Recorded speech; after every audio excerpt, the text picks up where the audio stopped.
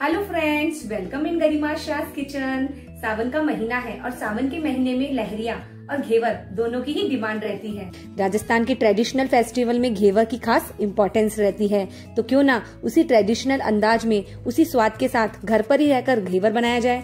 तो आइए स्टार्ट करते हैं। सबसे पहले हम घेवर का बैटर तैयार करेंगे। उसके लिए हम यहाँ लेंगे एक कप मैदा हाफ़ कप दूध वन फोर्थ कप घी और पाँच से छह आइस क्यूब इसमें हम तीन स्टेप में घेवर बनाएँगे। तो अलग अलग स्टेप में आपको मैं बताती जाऊँगी कि हम कितना और क्या सामान ले रहे हैं। सबसे पहले परात में जिसमें हम आटा लगाते हैं, उसमें वन फोर्थ कप घी डालेंगे और पाँच से छह आइस क्यूब डालेंगे और दोनों को अच्छे से फेंटेंगे। इसको लगातार एक ही डायरेक्शन में फेंटना है, जब तक कि इसकी क्रीमी टेक्सचर रेडी ना हो। ये घेवर बनाने का ट्रेडिशनल तरीका है। जब भी आप राजस्थान के किसी शहर में जाएँगे, वहाँ के स्वीट शॉप में घेवर देखेंगे तो वो भी इसी ट्रेडिशनल तरीके से तैयार किए जाते हैं। करीब पाँच से सात मिनट तक इसको लगातार एक ही डायरेक्शन में फेंटेंगे, जिससे बैटर हमारा स्मूथ बने और खाने में हमें वही ट्रेडिशनल घेवर का टेस्ट आए। यहाँ पे घेवर का सॉफ्ट बैटर बनाने के लिए हाथ का ही यूज़ लेना पड़ेगा, क्योंकि हाथ से फेंटने से बैटर एक ही कंसिस्टेंसी का बनेगा और इसमें किसी भी तरीके के कोई लम्स नहीं आएँगे। हमें पाँच से छह मिनट हो गए हैं इसको फेंटते हुए। अब इसमें थोड़ी थोड़ी क्वांटिटी में हम मैदा डालेंगे और थोड़ा थोड़ा करके दूध डालेंगे और इसको अच्छी तरीके से फेंटते रहेंगे। यहाँ पे हमें मैदा और दूध को एक साथ नहीं डालना है थोड़ा थोड़ा करके ही डालना है, ताकि बैटर में लम्स ना आए। जितना ज़्यादा और अच्छे तरीके से हम बैटर को फेटेंगे बैटर उतना ही स्मूथ बनेगा। दूध और मैदा को अच्छी तरीके से हमने मिक्स कर लिया है। अब एक कप बिल्कुल चिल्ड वाटर लेंगे और उसको धीरे धीरे उसी तरीके से, जिस तरीके से हमने दूध डाला था, पानी डालकर मिक्स करते रहेंगे। वैसे भी राजस्थान अपनी ट्रेडिशनल चीज़ों के लिए वर्ल्ड वाइड फ़ेमस है। यहाँ पर जो भी आता है, उसकी डिमांड घेवर की ज़रूर होती है। मैं भी जयपुर, राजस्थान की ही हूँ तो मुझे मालूम है, घेवर का क्रेज यही नहीं, बाहर भी बहुत है। लोग अपने रिलेटिव्स को कहकर यहाँ से घेवर मंगवाते हैं। तो आप इस आसान तरीके से घर बैठे ही घेवर बनाकर राजस्थान की ट्रेडिशनल स्वीट डिश घेवर का आनंद ले सकते हैं। यहाँ पे आप देख सकते हैं बैटर को हमें ना ज़्यादा पतला रखना है, ना ही जाड़ा रखना है। इस कंसिस्टेंसी का ही बैटर हमारा बनना चाहिए।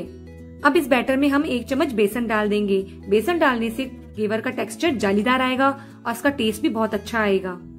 वापस से इसको लगभग दो मिनट तक और फेंट लेंगे और इसके बाद इसको एक बाउल में निकाल लेंगे। यहाँ पे आप इसकी कंसिस्टेंसी देख लीजिए। इसको ज़्यादा पतला नहीं करना है। इसमें हम अब आधा नींबू का रस डाल देंगे और इसको अच्छी तरीके से दो मिनट तक विस्कर से मिक्स कर लेंगे। नींबू डालने से घेवर हमारा जालीदार तो बनेगा ही, साथ में क्रिस्पी भी बनेगा। अब बैटर हमारा रेडी हो गया है। अब एक छोटी साइज़ का घेवर बनाने के लिए करीब 18 से 20 टेबल स्पून बैटर को अलग से हम एक बाउल में निकाल लेंगे ताकि आसानी से घेवर बना सके। घेवर को रेडी करने से पहले चाशनी बना लेते हैं। इसके लिए एक भगोनी में एक कप पानी डाल देंगे और करीब एक कप से थोड़ी सी कम चीनी डाल देंगे और इनको लो फ्लेम पर लगातार चलाते रहेंगे। चाशनी ज़्यादा गाढ़ी नहीं बनानी है। हमें यहाँ पर एक तार की चाशनी ही बनानी है। पाँच से छह मिनट हमारे कंप्लीट हो गए हैं। अब इसमें हम स्वाद के अनुसार थोड़ी सी इलायची पाउडर डाल देंगे और थोड़ी सी केसर की पत्तियाँ भी डाल देंगे और अच्छी तरीके से मिक्स कर लेंगे और इसी स्टेज पर हम गैस को ऑफ़ कर देंगे। अब दूसरी तरफ़ एक छोटी भगोनी को गैस पर रख देंगे और इसमें करीब आधा भगोनी घी डाल देंगे और उसको गर्म होने देंगे। घी हमारा गर्म हो गया है।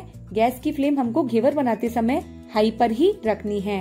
अब एक बाउल में जो हमने 18 से 20 चम्मच बैटर निकाला था, अब इसको धीरे धीरे एक एक चम्मच बिल्कुल भगोनी के सेंटर में रुक रुक कर डालते रहेंगे।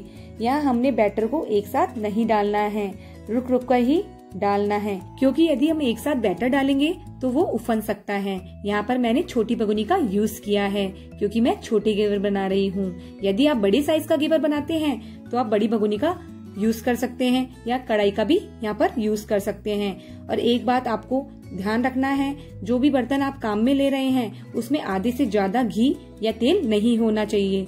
यदि आप आधे से ज़्यादा घी या तेल का यूज़ करते हैं तो वो उफन के बाहर आ सकता है। इसलिए तेल या घी की क्वांटिटी बर्तन के अनुसार ही लें।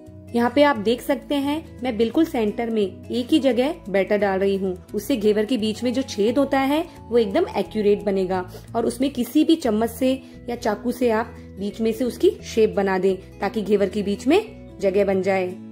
हो सकता है जब आप पहली बार घेवर बनाएँ तो घबराहट के कारण आपका घेवर परफेक्ट नहीं बने। लेकिन एक बार घेवर बनाने के बाद आपको पूरी एक्यूरेसी पता चल जाएगी कि किस कंसिस्टेंसी का बैटर आपको रेडी करना है और किस कंसिस्टेंसी से बैटर आपको घी में डालना है।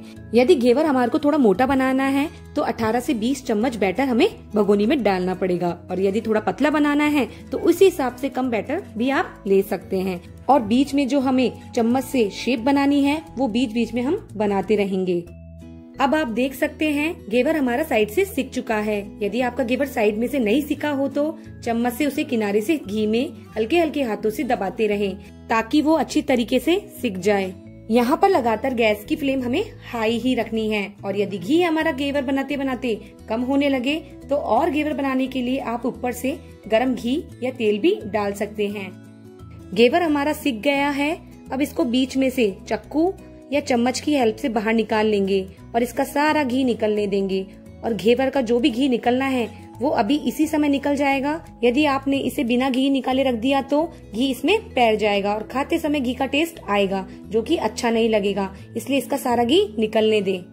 यहाँ पर आप देख सकते हैं, इसका जालीदार टेक्सचर आया है, जो कि घेवर की पहचान है। और देखने में इतना सुंदर लग रहा है कि इसकी सिकाई सब जगह से बराबर हुई है और इस तरीके से हम बाकी के घेवर भी बना लेंगे।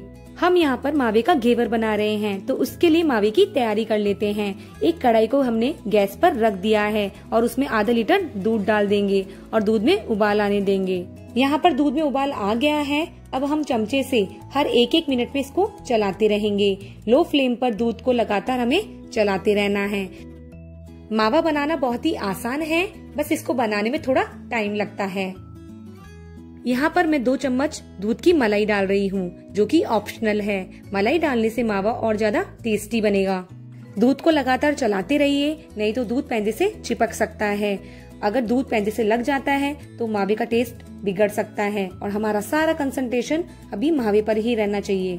और इसके किनारे खुरसते हुए, नीचे से खुरसते हुए चलाते रहना है।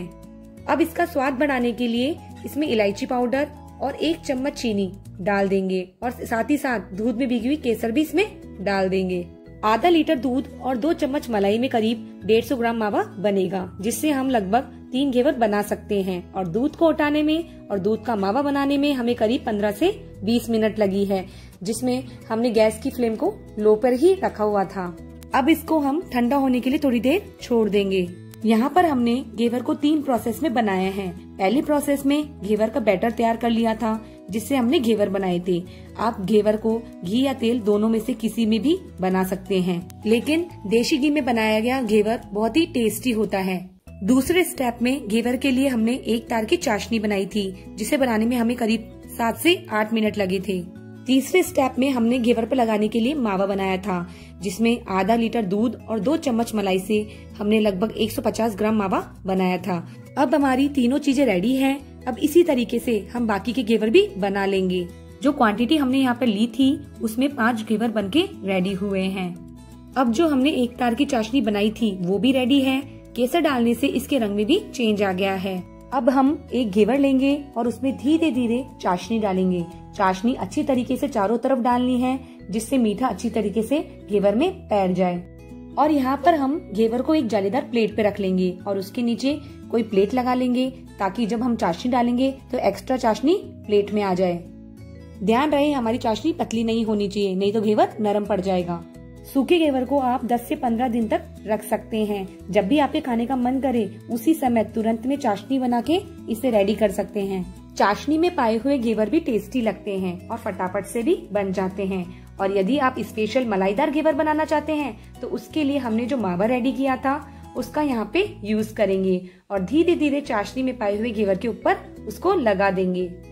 घेवर के ऊपर हमने मावा लगा दिया है। अब इसको पिस्ता और बादाम से हम गार्निश कर लेंगे, जिससे इसकी लुकिंग में भी और टेस्ट में भी काफ़ी डिफरेंस आ जाएगा।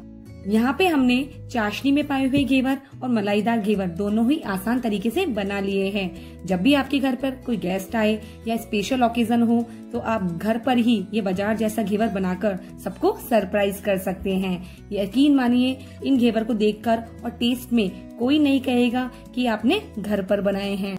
मलाईदार घेवर की रेसिपी अगर आपको पसंद आई हो तो मेरी वीडियो को लाइक करें चैनल को सब्सक्राइब करें, दोस्तों में शेयर करें. थैंक यू सो मच जय जिनेन्द्र.